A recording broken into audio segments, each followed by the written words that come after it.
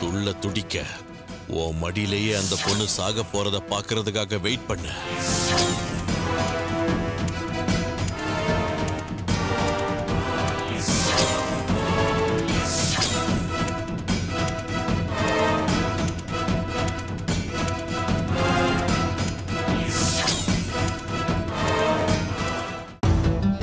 ஐயா என்ன?